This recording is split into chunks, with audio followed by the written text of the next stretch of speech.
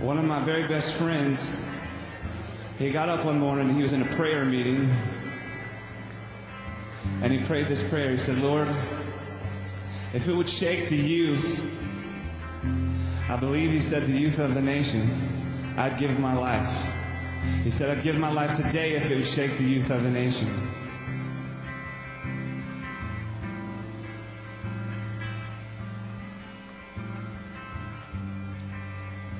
And he died that night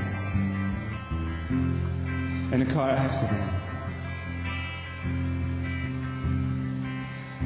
He was one of the youth leaders, and later I became one of the youth leaders, and we were incredibly distraught by his death because everybody loved him so much. Um,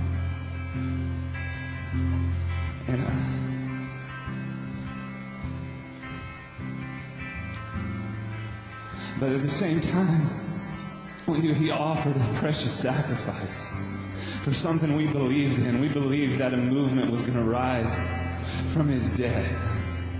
I mean, not like Jesus or anything, but he said, Lord, if, I, if it would shake the youth of the nation, I'd give my life. And the Lord accepted that. So we have to believe that if the Lord responded to that first part of the prayer, I'd give my life and he'd respond to the second part of the prayer. Well, I became a youth pastor and for three years. I thought, when is this movement going to start? When is this going to happen? And I worked with a bunch of really awesome, wonderful kids, and some awesome stuff happened, but a youth movement didn't happen. And years later, I felt like everybody had forgotten. I thought they'd forgotten about him. And I was the only one. I thought, Lord, what's the deal? Three years and nothing from this death. He was my best friend, Lord.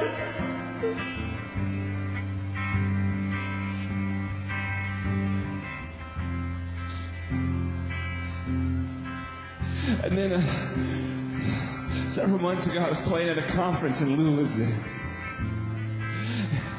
And we were playing, and he leaned over to me and said, Let's, let's sing this in a stadium. And that kept ringing in my head. Let's sing this in a stadium. When I realized the day after he died, I woke up and I wrote this song the very next day. And it's not my song, but the song has had wings. Everywhere it goes, I get emails from kids who've been delivered. I have people who've been saved just by listening to the song.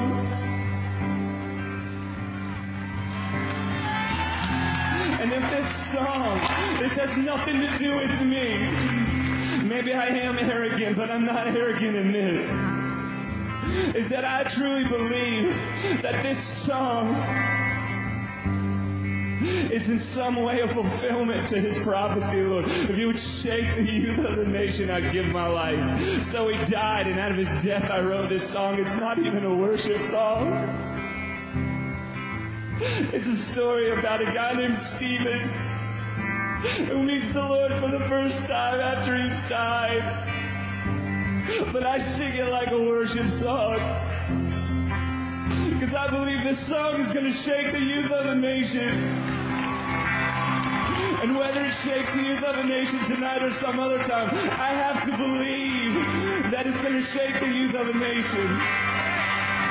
So would you sing it with me to the Lord, but also as intercession for the lost and the broken who need to know the true, real, deep love that only Jesus has to offer.